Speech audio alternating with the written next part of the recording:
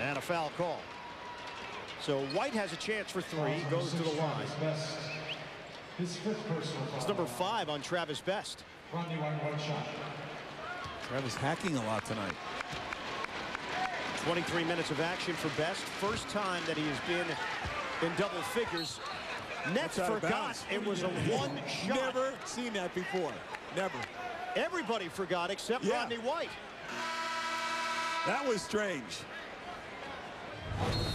Watch this. He's got a one-shot foul here. Folks, look at Nenad. Give it back to the referee. And I'm running out of here. Not me, the referee. Now you can lose your concentration, there's no doubt, in a blowout situation. But it is still going to draw criticism from the head coach, Lawrence Frank.